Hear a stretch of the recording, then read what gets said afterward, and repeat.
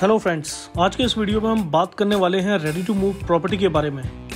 Ready to move property के अंदर आपको जो साइज़ देखने के लिए मिलता है, ये है three B H K two toilet thirteen sixty nine square feet unit की अवेलेबिलिटी हमारे पास जो है, वो रीसेल के अंदर अवेलेबल है। बाहर का जो लुक आता है, कुछ इस तरीके से आता है। एंटर करते ही हमें देखने के लिए मिलता है लिविंग और डाइनिंग स्पेस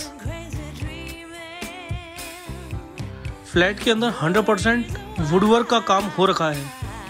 यहाँ पे आपको सेलर की तरफ़ से किचन मॉड्यूलर प्लस चिमनी का भी ऑप्शन देखने के लिए मिलता है।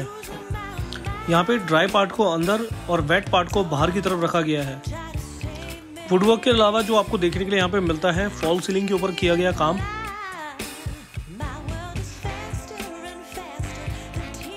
साथ ही साथ यहाँ पे आपको देखने के लिए मिलता है स्टोरेज स्पेस बेडरूम्स के अंदर भी आपको स्टडी टेबल और वार्ड्रॉप्स के स्पेस कवर्ड मिलेंगे। बालकनीज की लेंथ की बात की जाए तो फाइव फीट वाइड बालकनी मिलती है, जो कि एक डिसेंट साइज़ है। रनिंग बालकनी है, जो कि मास्टर बेडरूम से कनेक्टेड है। Three B K two toilet में बहुत ही डिसेंट साइज़ में रूम्स निकल के आते हैं। बाथरूम्स के अंदर भी आपको वुड की फिटिंग्स मिलती हैं। मास्टर बेडरूम जो आपको मिलता है वुडन फ्लोरिंग के साथ मिलेगा। यहाँ पे भी आपको एलमीरा देखने के लिए मिलेगा। साथ ही साथ मास्टर बेडरूम के टॉयलेट में भी आपको वुडवर्क देखने के लिए मिलता है।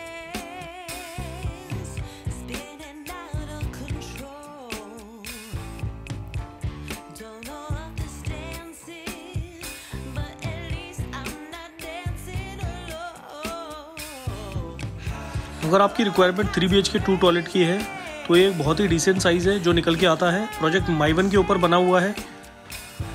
अगर आपको ये साइज़ पसंद आया है तो आप दिए गए नंबरों पे कॉल कर सकते हैं। हमारी टीम आपको असिस्ट करेगी इस प्रॉपर्टी को और अच्छे तरीके से समझने के लिए।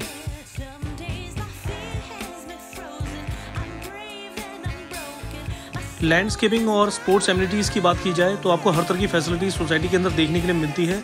एज वेल एज आपको सनलाइट और वेंटिलेशन का प्रॉपर एरिया मिलता है।